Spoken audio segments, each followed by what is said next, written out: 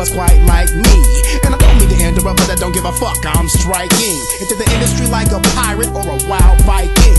And I waited for suckers to try and strike them down like lightning. Hella for frightening, but it ain't fright night. I put it all on the line and I find myself in the middle of the goddamn limelight and do it all of the time in the time of the great recession. But when I'm stressing, it's what